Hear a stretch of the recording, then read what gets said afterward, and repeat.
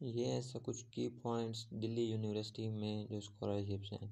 सबसे पहले जो है, वो है merit based scholarship Delhi university merit based scholarship देती है एकेडमिक परफॉर्मेंस पर।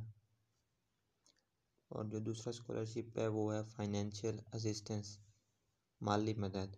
ये स्कॉलरशिप एलिजिबल स्टूडेंट्स को मिलता है ता उनकी हेल्प करने के लिए ट्यूशन फ़ीस को कवर करने के लिए बुक्स और दूसरे जो एजुकेशनल एक्सपेंसेस हैं। और जो तीसरा है, वो है need based scholarship in addition to merit based scholarship Delhi university need based scholarship भी फराम करती है स्टूडेंट को फाइनेंशियली सपोर्ट करने के लिए।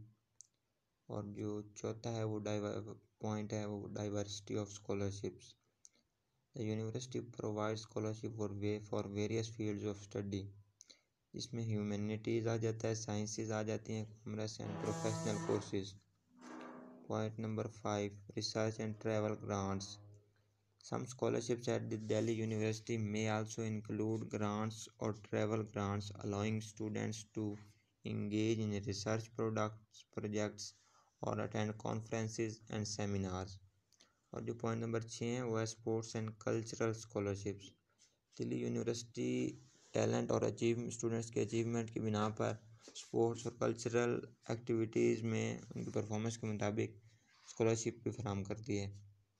जो पॉइंट नंबर सेवन और सबसे अहम प्रो, पॉइंट है वो है students interested in scholarship Delhi university should regularly check the university's official website for scholarship announcements and follow the application procedure specified for each scholarship best of luck in your scholarship journey bro We'll meet you later. Till then, keep learning and keep exploring. Allah Hafiz.